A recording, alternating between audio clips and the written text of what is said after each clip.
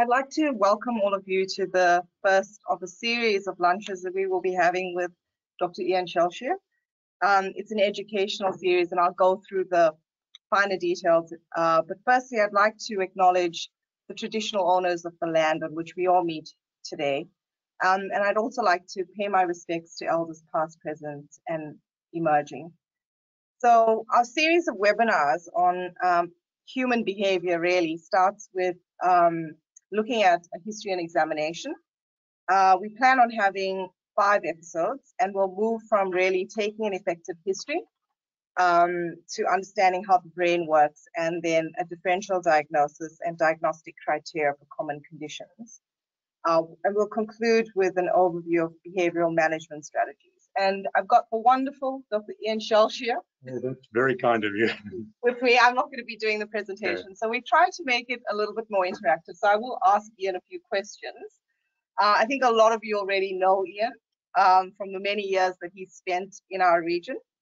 Um, but maybe I'll start, Ian, by just asking you um, how you became involved in this very, very tricky, complex, undertrained area.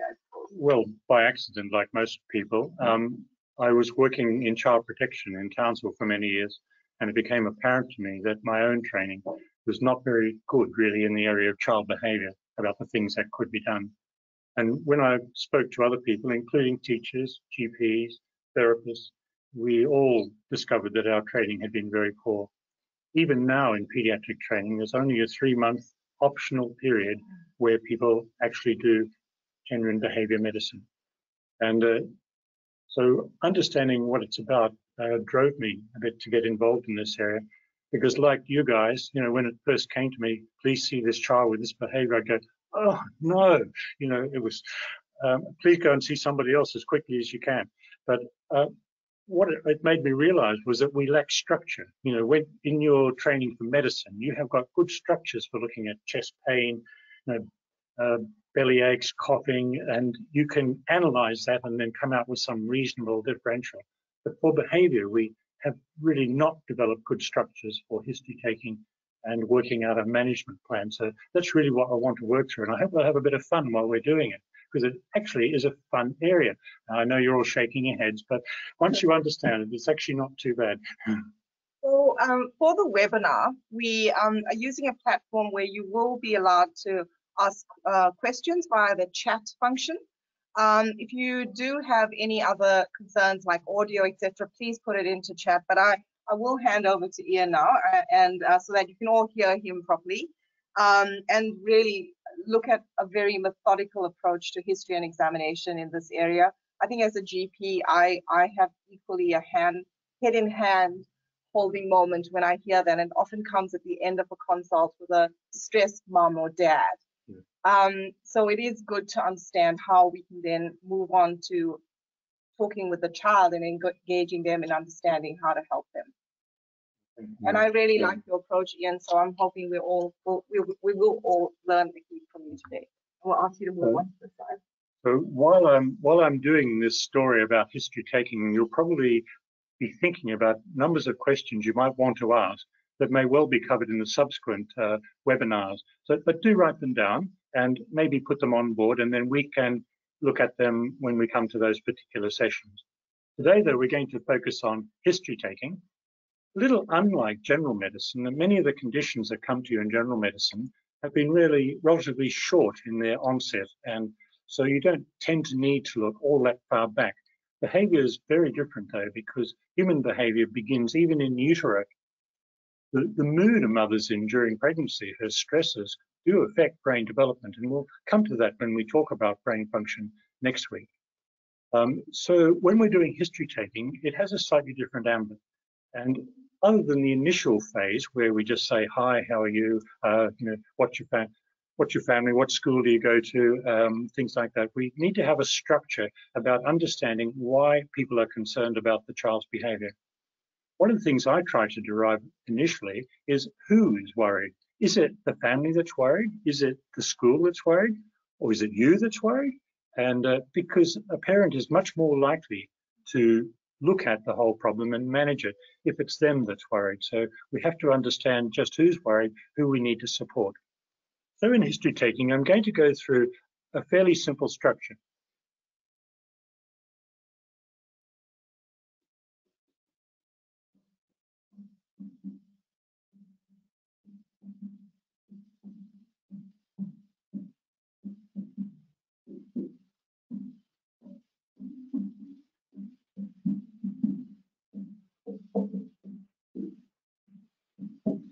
And I can hear you all saying, oh no, not social emotional, but it's actually just as easy to analyze as the other bits.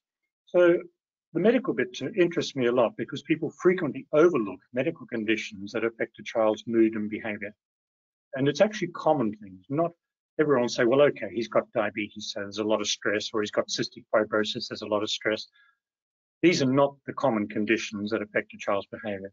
The common conditions are things like otitis media, including the intermittent hearing loss that children incur because that'll affect their effectiveness of their communication. So we need to think about that. Um, and we need to think about airway obstruction as it affects sleep at night because aberrant sleep has a major effect on daytime mood and behavior, you and me both, uh, but also children. And we find that it's one of the strong reasons why a child might not sleep well at night. They might be in pain, discomfort, they might have an itch, so that's something you can do something about because you're well trained to look at medical problems. So we look at upper airways, we look at sleep, and we look at bowels, surprisingly. Um, constipation is a very, very common problem in children, and particularly the ones we see. It's usually a long-term condition, not a short-term one that can just be solved by giving some medicine. It needs ongoing management. However, any medical condition that causes pain, discomfort, interference with sleep, or other function will affect a child's behavior. So there's one area where straight away you might be able to solve something. I just love it. For example, when I get a, a family come in and there's a letter there saying, please see this child with ADHD. Oh, and by the way, he doesn't wipe his bottom properly. Because I know when I empty that bowel out, that child's going to be a lot more regulated. They're going to be able to think straight, to think more easily without that focus of discomfort where the children aren't quite sure what's going on. So I expect that you should be good at doing a medical interrogation. So we're going to move on to a developmental one now.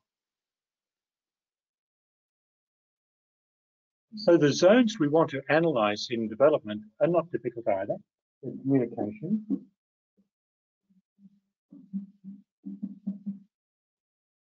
Next would be social communication.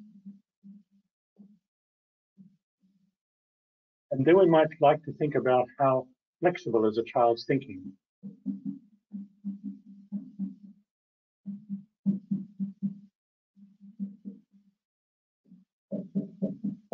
We might want to be thinking about their sensory system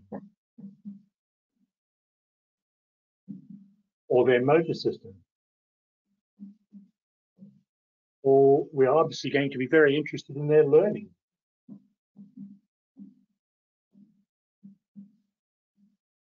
And we might look at attentional quality.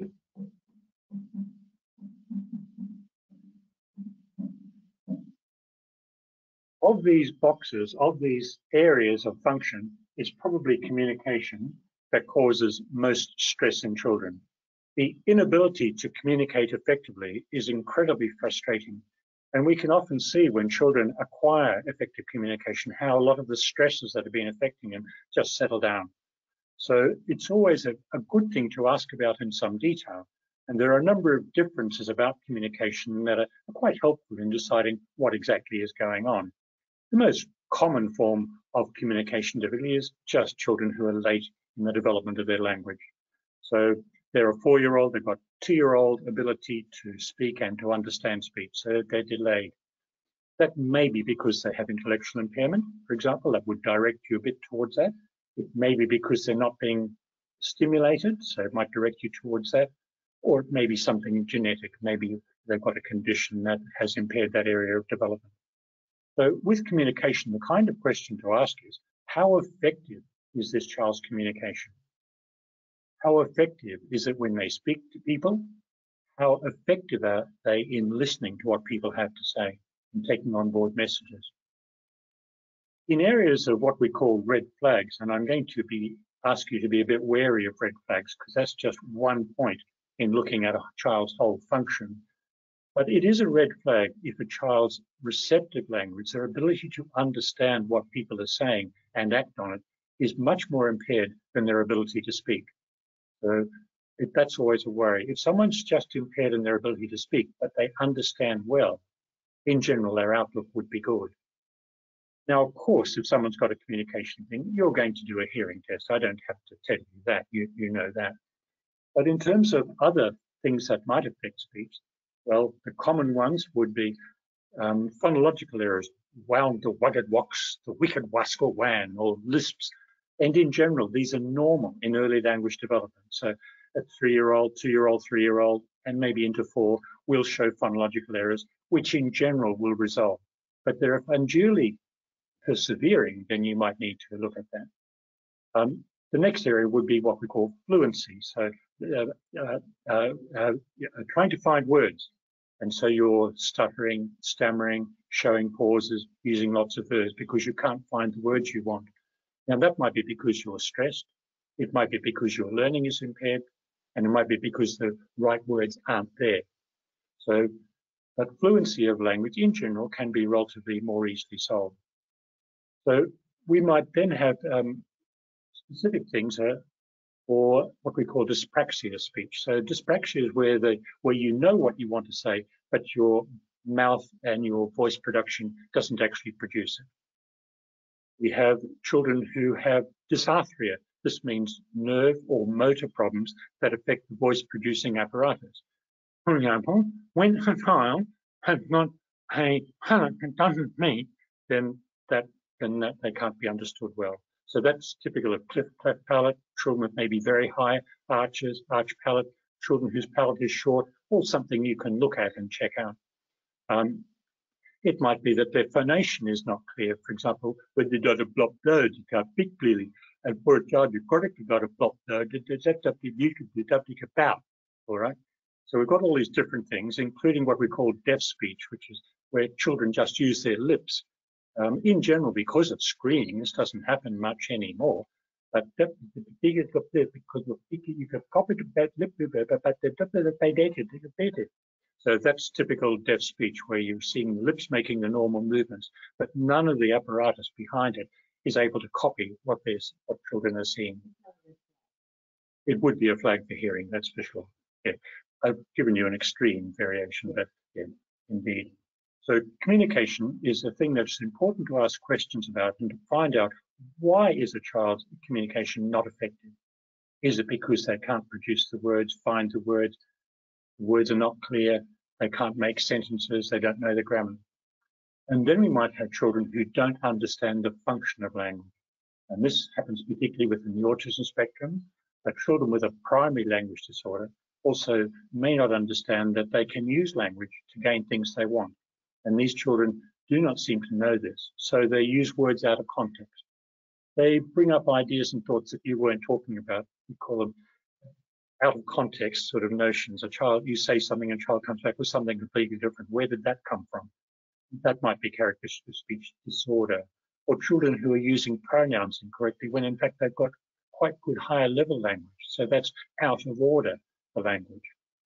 So in the receptive point of view, a child may not be taking on messages because they're deaf, because they don't understand you. You're using words that are too high level or the wrong language, or maybe you're speaking too quietly or not enunciating words, just as I'm trying desperately to do now. So, or maybe because the child um, needs a lot of time to think about what you're saying. They they're trying to take it on board, but you're giving them too much information. So they're not having enough space and time to take your message on board. Or finally, it might be because they just jolly well don't want to do it. Um, and so we'd have to analyze why that might be the case. In the area of social communication, now we're talking about understanding other people's needs and feelings. So here the question's a little different. So now the question is, how effective can this child approach other children for play? And what happens after they approach them? Do they succeed and able to maintain the play or does it fall about? And if it falls about, then what's the reason that it doesn't work out? Is it because they won't play another child's game? Is it because other children won't can't understand their language or can't understand the game they're trying to initiate? Or is it because they're not willing to change? Because play, normal play in childhood undergoes many changes in a short time. Maybe they can't follow that. So we want to know how effective are they? And of course, do they understand the body language of other people? So when I look at you, I can see that your your body language tells me you're either closed or, or maybe you're open. And then I would modify things. If you're not making eye contact, I would be understanding that maybe you're stressed and you're so whether a child makes eye contact, whether a child is interested in you, looking at you, making contact with you, uh, whether they're asking questions about about you, how are you, uh, why are you feeling upset, mum, and those sort of questions. That's all social communication, and the same would apply to their peers. So with their other children in the classroom, do they understand when they are angry, when they're sad, and then react accordingly, or do they just carry on like there's no problem? So that's understanding the body language of others. Of course, at the end of the day, you're wanting to be saying, well, do they actually have any friends? And do the friends know that they're friends? Are they being invited over to play? Are they joining in other children in the playground? For example, one of the common things is we hear, no one will play with me, everybody hates me. And when you go and look at the playground, the play's occurring normally. But as for most playgrounds, there's moments when a child is excluded from groups and then when they're reintegrated. So we need to know if it's a pervasive problem or is it a superficial problem. But the question of whether they've got friends is quite important. Or flexibility of thinking, you might not have thought about that, but how flexible you are in your thinking, how able are you to change things, how able are you to understand a change and manage it? How many different ideas can you hold and how creative are you within them? So the question we ask of parents here is, what are your child's different interests? So inside and outside. So are they reading books as well as playing with toys, as well as coloring in, as well as being involved in electronic media, as well as going outside? And within those things, how much creativity and variability do they show us? So we're after restricted thoughts and ideas, which can, are a major impairment in a child managing in a classroom, for example. So we'll want to know what those interests are because we're going to perhaps be working on them later and using them to help train a child in areas in which they're not interested. So does a child show a high degree of repetition also enters this area. So a repetitiveness shows a lack of flexibility. So the repetitive might be a body movement, that's, that's persistent, or it might be words that are persistent, or an action that's persistent of some kind. So all within the flexibility of thought, we're just seeing how variable a child can be. In the area of sensory function, you may not have thought it. We all know that everyone's different in their motor abilities. Uh, we've got Aaron here, for example, who wears an all black thing all the time, and no doubt he's very good at rugby. Um, whereas, whereas we all have different variabilities in that, but we also show significant differences in our sensory mood and appreciation. So a sound I hear may not be heard by somebody else or might be painful to somebody else. Now we can go through all the single senses in the same way. So we can do smell, touch, the textures of clothes, the textures of foods, whether things are wet or dry. Proprioception, that is, where is my body in space? Because if a child's not sure where they are, then they're going to be moving to try and give themselves input to find out. And we might call that ADHD when they're actually simply seeking, where is my body? I mean, you see newborn lambs doing it, don't you? They're bouncing all over the field and they're working out the position of their body in space. And when children are young, they need to do it too. So a four-year-old and a three-year-old who are very busy rushing around the place, jumping on things, are primarily working out their proprioception. If you go to a daycare center or a preschool, you'll see children standing on the edge of the table, bouncing on their tiptoes, giving themselves extra input to assert their body position. So we need to know about proprioception as well. So we've got these separate senses that we would ask about, but we'd also like to know about integrated senses. So when a child's in a supermarket, are they overwhelmed? Because there we've got sound, movement, color, and so on. So is that overwhelming or can they manage single senses but not multiple? So we need to know that in order to figure out is this a pervasive condition or not. Children who are stressed will show that kind of sensory sensitivity, just as you and I would if we were involved in a near accident For example, what are you like in the next few hours? Well, you don't like people so close to you. You may not like being touched. People's speech might be unduly loud. You might prefer to be left alone. So we all change our sensory things too under stress. So not only do we need to think about sensory things as being something we have been born with, but also it's an evolving thing and it's affected by stress. Now, yes, we're going to talk about motor as well, don't you worry. So motor functions also matter. Um, and there are red flags there. You might, for example, have a red flag for a child who's unduly floppy. But on the other hand, we've got lots of perfectly normal children who are low tone and floppy. So we need more than just that. On the other hand, many of the children we deal with are low tone. So you can find if someone's low tone by simply shaking their hand and their hand feels soft and unduly flexible. Or you can see in the way they're sitting, so they're slouched. Or for a child, they might be standing with the stomach sticking right out and their bottom out the other side. So that kind of that, that position that are typical of three-year-olds, but if it's persistent, you might see flat feet. Now the point about low tone is if you're going to move with low tone, then you need to spend more energy to maintain joint position. So you're going to get more tired than others, and you're going to get sore joints. So this might affect a child's willingness to be involved in the very thing they need to help them manage their low tone. High tones a much less common thing that we see, obviously part of spasticity, but there are some children who are jerky in their body movements without having spasticity. And that's also going to cost them more energy and more effort to move around. Learning's fairly obvious, isn't it? If someone's got a learning difficulty, we're generally going to hear that this child is not up to what their brothers and sisters were doing at that age, or they're not up to the next door child, or they're not up to the other child in the classroom. We've got a couple of different kinds of learning thing to look at though. Is this learning delay, let's say, is it universal? Or is it right across the spectrum, everything that child's trying to learn? Or is it very specific? Because we, we were really let down for a while by not understanding that you can be deficient in just one area function. So just one area of the brain may not be learning as well. There may be a child, for example, who's brilliant at maths, but he's unable to write. And you might think, oh, he's just lazy. he just needs to put in more effort to his writing. Oh no, he's actually got a motor function problem in more likelihood. Similarly with reading, with dyslexia, we have children with isolated mathematics problems. We have children who can't manage science. So we want to know firstly about general learning. We want to know about those specifics. And we're probably going to be seeking information from people who are in contact with their school age or preschool to find out more about that. Attentional skills are a mixed bag in discussing them because there are many environmental things that affect your attentional skills.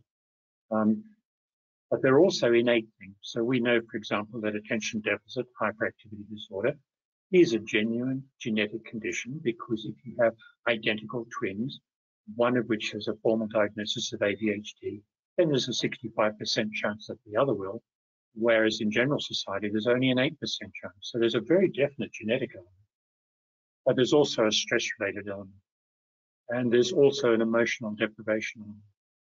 We also have an issue with electronic media now that's not allowing children's brains to rest. So they're leaping from one thing to another, to another, to another. They cannot be bored. They must be entertained as soon as they're bored, rather than allowing children to be bored to give their brain a little rest. Because when you can have little rest through it, you can process information more readily rather than having to leap from one thing to another. But we'll come back on. Now, having looked at these different areas of developmental thing, you might well ask now, well, what are the behavioral results of their medical and developmental problems? Because we're just going to skip social emotional for just a moment.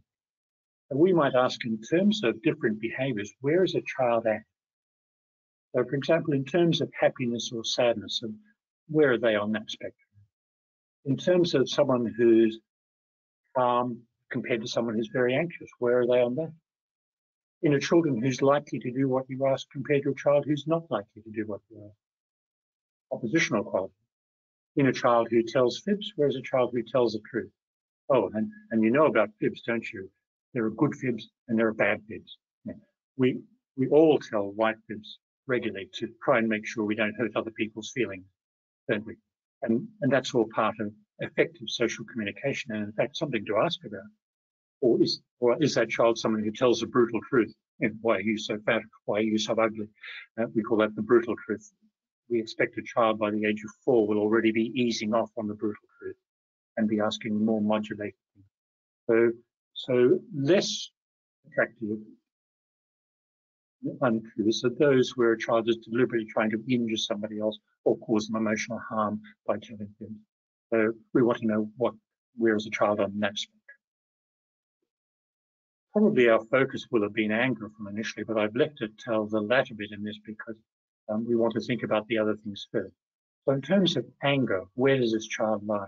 How often are they getting furiously angry? What do they do when they're furiously angry? Do they hurt someone? Or violent, in other words? Do they break things, distracting? Or is it simply a lot of froth and bubble, as is most often the case? In which case, we're much more able just to let it be. Um, and maybe how long does it take for the child to resolve those strong feelings? We'll be having to be think later on how can we train them to find their own self self healing um, spaces and, and resolve that. So now I'm going to move on to social emotional differences.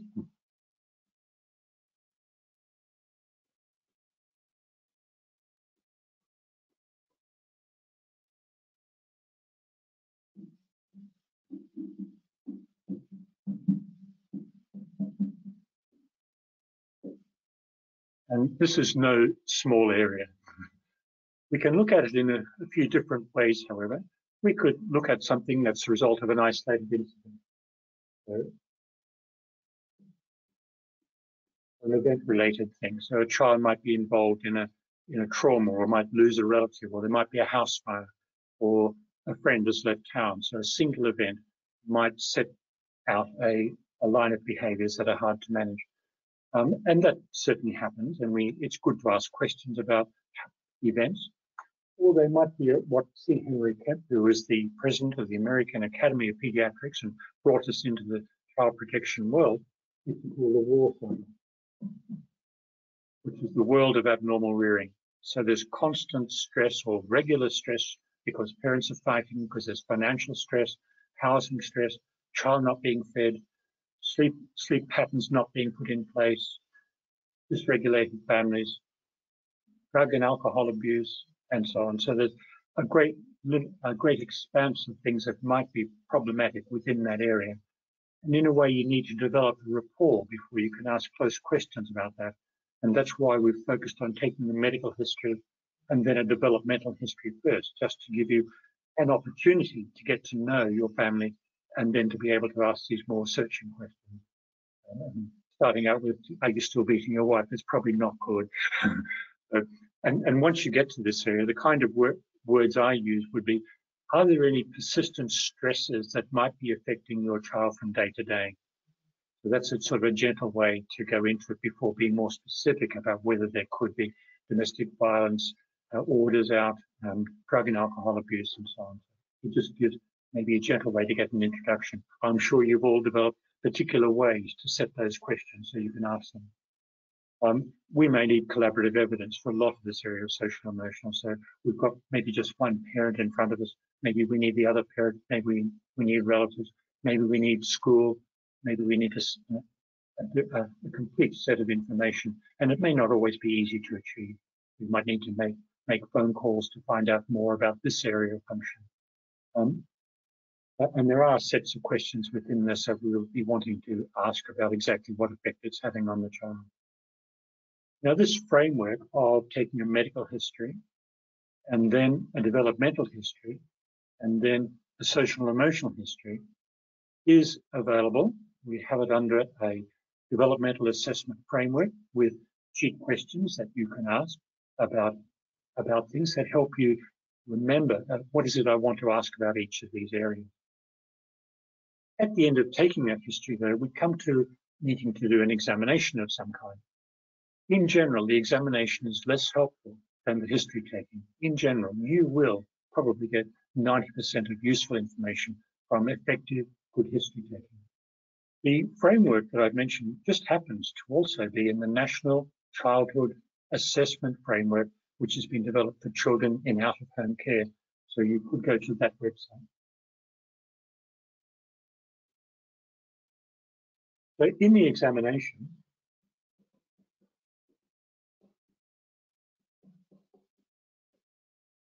obviously you just want to look and see what the what sort of child looks like, don't you, to get a gestalt about how is the child interacting with mother, how are they interacting with you, what communication have they given us, what interests have they shown in things about.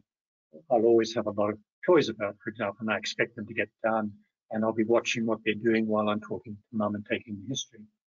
Um, how how flexible they are, what what creativity they're showing. But we might also be aware that that child is not not connecting well with us. And here we come to something like eye contact. Now, while we eye contact is a red flag in early development for autism, also it's also very common for people not to make eye contact when they're stressed. For example, when during normal development. So between about six and nine months of age and about four years of age, most children will not make good eye contact with you when they, they ask a question because they need to think about your words, put their answer together and bring it out before, and you looking at them will impair that. Just as if I give you a maths problem to do in your head right now, you're probably going to look away, calculate it, and then look back because your brain can't fit all that in together. Well, when language is evolving, children need to look away to process information. So at that phase, it's normal. And any of you who've got an adolescent child or had one recently, also another adolescent boy, are looking down at their feet and they're moving their foot back and forward while they're talking to a friend. And if you come up and say, what was the idea of doing that? Then they're going to go, I didn't. Because in fact, you're not giving them any space to think. So we have to think about how that child's interacting. So the fact that they won't make eye contact might simply be stress, or maybe it's not understanding the effectiveness of social communication. We have to think about different things. So from afar, we'll just notice how well nourished the child is, and it's always useful to put that child on a growth chart because they may be being teased because they have a facial difference, they might have a color difference, they might have um, anything at all, really, children will pick on and choose to tease. For example, I usually recommend children have fat ears put back before they start school if parents are in agreement because it's something they will be teased. Um, so yeah, I did my own daughter. Okay. um, and it made a huge difference in her self-confidence. Just something like that. You probably know, if you've been in the business a while, that when you send people away to get something different restored through plastic surgery or some other process, you probably got incredibly grateful patients. Whereas if you, because you've just read about some remote, rarely ever condition that is invariably fatal without intervention, you pick it, you give the only treatment that works, and they're better tomorrow. They'll just be saying, oh, yeah, whatever. Uh, whereas if you do something about appearances, well, so they matter to children as well. So if a child's got a significant differences in appearances, and it may just be clothing choice, then they may be being teased and bullied at school. So have to think about that. So we're still sort of just looking at a child, trying to get a gestalt about them. The other thing we're wondering is, are there are there differences in appearance might it represent a genetic condition? Do they have what we call dysmorphism? Is there something about their appearances or their hands or their body that's out of proportion or, or different? For example, it's very common for families to have the little finger bent called clinodactyly. Our family does the middle finger, if you can see that. Uh, that's, that is a dysmorphism. What it means is something that's a bit different, but in itself has no functional consequence. Just something that looks a bit different. Um, uh, when we get a whole pile of them though, you begin to think, oh, that's a lot of differences. Maybe it represents a genetic condition, and then we might start looking. So we look for these dysmorphisms and appearances.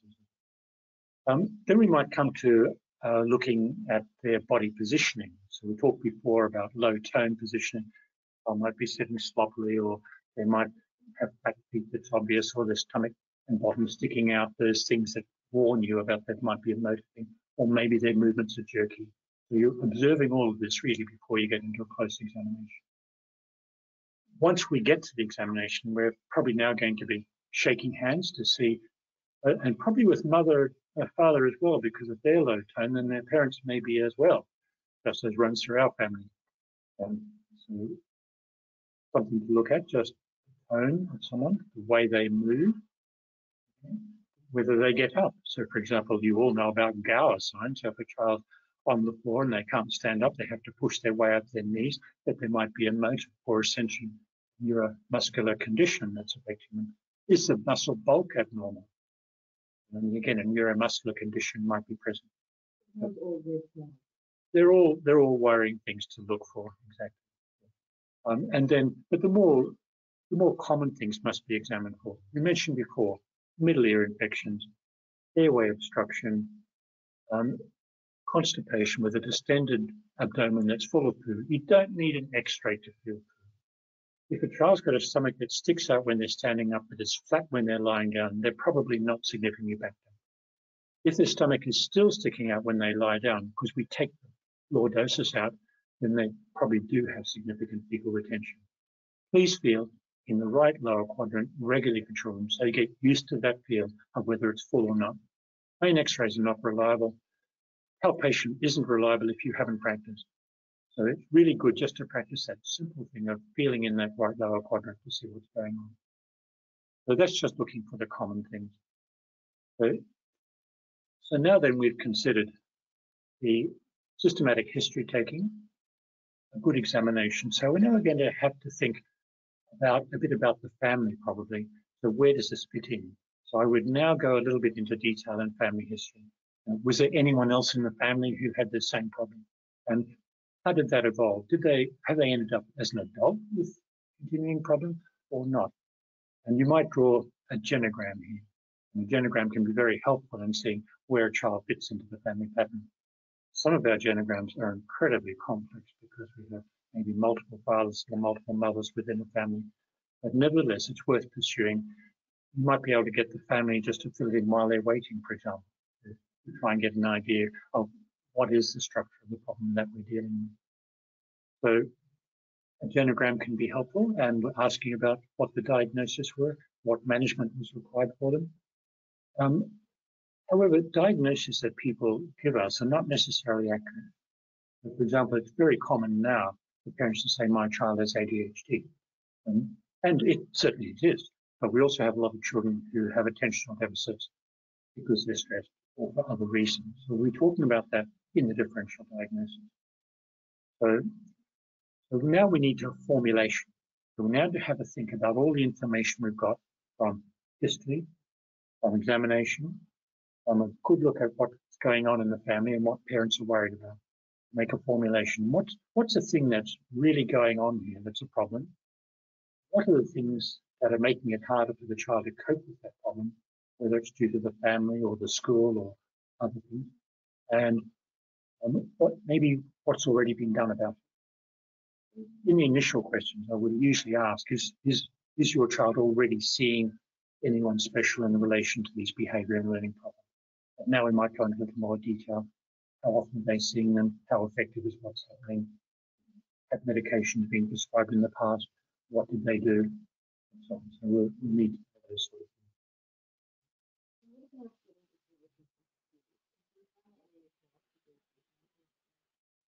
Yes, I, I strongly recommend that we give schools a, a form work to fill out that fills out the information we want.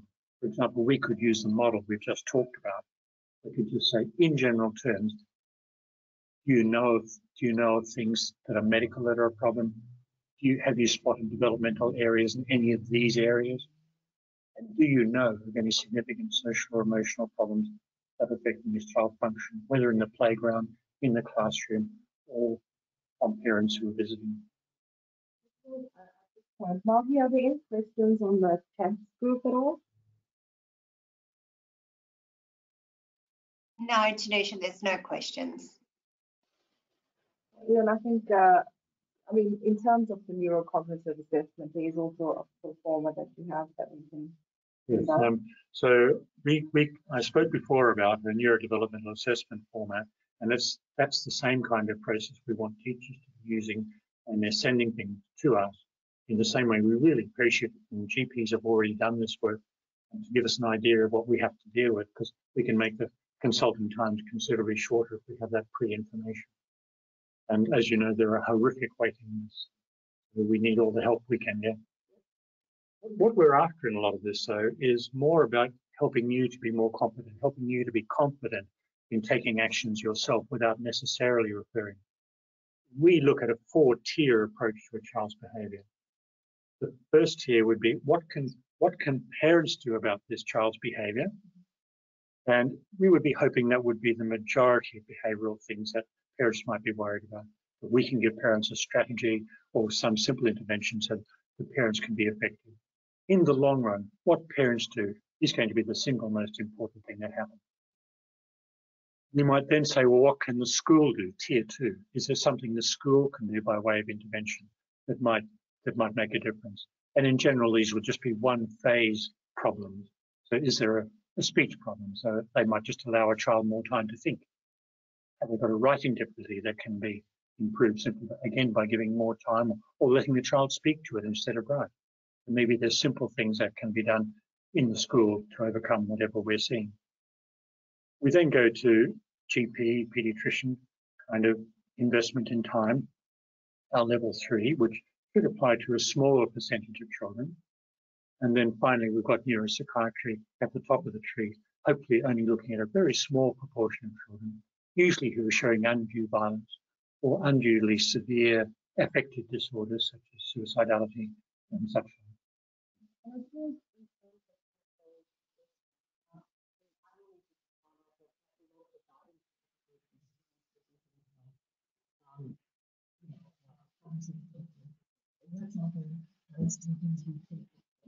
Absolutely, and we can go a lot further than that because not only are there guidance officers who can look at a child's learning by doing cognitive testing, but they also have visiting specialist teachers. So there's a behavioral visiting teachers. There are teachers for reading and writing difficulty. There are te specialized teachers for autism that the school can ask to come and help the teacher to function within the classroom. And they may well be able to solve the problem without necessarily involving tertiary or quaternary levels of care. And in terms of uh, assisting the to kind of do some of this experience as well. Sorry, Tanusha, we can't hear you. Okay, sorry. Um, in terms of helping the, you know, helping within the primary care setting to do some of these developmental screening uh, assessments as well. The child health nurses could help with that as well. Absolutely. The child health nurses have some very effective screening tools that they can use that might help you know, quantitate the developmental differences in particular.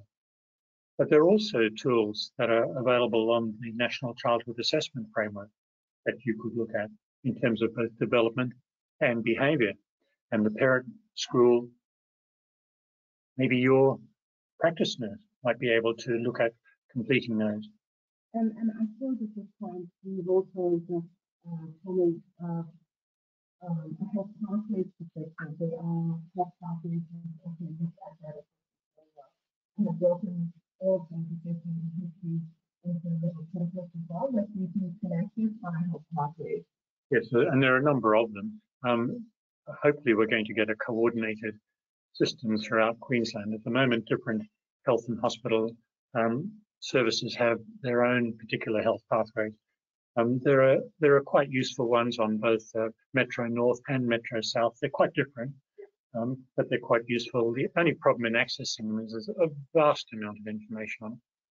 We have a resource as well attached to the Ipswich Hospital Foundation, which has got a lot of files on different behavioral management techniques. It's got some simple screening tools like the SDQ, uh, which can be look, look, across a range of different functions. Um, and uh, within it, there are papers from occupational therapists, speech therapists addressing particular problems. So the, the address for that is under Ipswich Hospital Foundation. You go to what we do, go to local medical research, go to behavior files. Now, when you open this, there's around three to 400 files on different things, many of them things that might be helpful to the family in terms of understanding a child's behavior. You need to enable editing. You need to have an Adobe reader in order to open the PDF files because Microsoft will not open them. And I guess we're hoping to do some of these uh, micro learnings as well and, and uh, add them as a resource as we go through the Yeah. session. So um, And our, our next session, if hopefully you've been intrigued a little bit by this kind of approach, um, our next session should be a great deal of fun. And it's actually what, what you can do to help brain function in a child. What are the simple strategies? How do we understand what they're doing and why they're doing it? And how can we intervene to make things better? And I, I think what we'd also like to do is hear back from uh, general practice about some other topics or questions that they might have uh, for future topics as well. We could probably add them into the, the series as well. Absolutely. Yeah. So I think we've really covered quite a lot in terms of uh, um, history and uh, examination. Um, I have one other question though, because I've I've worked with you in the clinic. Is sometimes, and and I know you don't do this often, but there are investigations that we could do at a primary healthcare level. So Absolutely. could you maybe just quickly walk us through that? Because I was not aware of those. Well, the, the first set of investigation relates to any medical diagnosis. So we would expect you to properly investigate anything of medical concern that you had. But you can also look at genetic Oh, testing. yeah. So um, currently we're um, doing a slightly more limited one, but all genome testing will be available very shortly at a reasonable price. So the only problem is that we don't always know what errors in that gene screening tell us. So right now, though, the kind of screening that we can do is very, very helpful at diagnosing a whole range of genetic-based disorders that will give us good understanding. And sometimes we've not picked up the clues that a child's got that. For example, we all know that Fragile X has got a, a particular set of things. There's large testicles, there's uh, these kind of differences. But in fact, most children with Fragile X uh, don't have those signs and symptoms. So where a child's got significant learning, we will always do genetic testing. Um, where that test where that learning is out of keeping with the family's abilities.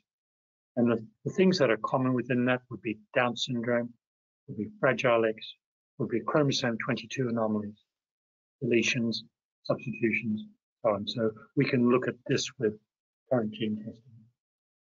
I suppose, Marty, Are there any questions in the chat at all? Just the one, and it, you may have covered it. Is there a screening questionnaire or tools that you recommend? We addressed that briefly. We are going to talk about it in more detail in a subsequent talk. Uh, in, in quickly, Child Health has got some very good screens that they can use. Um, there are also screeners available on the website I spoke to you about, the SDQ and the SNAP. Both of those are looking, both they're looking at attentional abilities, they're looking at general behaviors. There's a an extended SNAP that you can get. These the advantages of these, is they're free online. There's an awful lot of screeners like Conners, which is a very good screener for attention deficit, but it costs a lot. And for example, our hospital certainly can't afford it. Um, things like the SNAP have been validated against Conners, so it's a reliable tool. The SDQ is a very useful tool for just trying to find out what are the zones of malfunction within for this child. Um, the more extensive screens done by um, Child Health will look at particular behavioural profiles as well as developmental profiles. I know that you have to do. Uh, so the SNAP, I. That's something I think is important, and, and that's added to, you know, Yes, because what you'll have found out is that when we send teachers a request, they say, oh no, don't say I'm going to spend three or four hours filling out some enormous form. Uh, the snap takes one minute. And I think the teachers are- Um, so if there are No no other questions. We, is there anything else, Ian, that we could round this off with or I think we're just rounded off by saying, you know, that there is a system that's easy to follow. We've got this dramatically increasing area of people asking us for help. 65% of pediatric outpatient referrals now concern behavior and development, whereas it's a very small part. So we need a structure. So if we just start with, is it a medical problem? Is it a developmental problem? Is it a social emotional problem? Then we're off to a flyer. I'd like to thank Ian, and uh, the next session that we have is on the 28th of July. And we will send a questionnaire out as well, just so that we can capture any uh, other topics that we would like to discuss in future sessions. And I think we've done really well for time, Ian. I didn't have to raise my hand. Uh, and I'd like to thank all of you for, um, for joining us today. And uh, this will be recorded, Tony, and it will be on our website under resources in a few days. Thank you. It's been great having you. Thank you, Margie. I think you can end the webinar. Also, thank you. Thanks, everybody.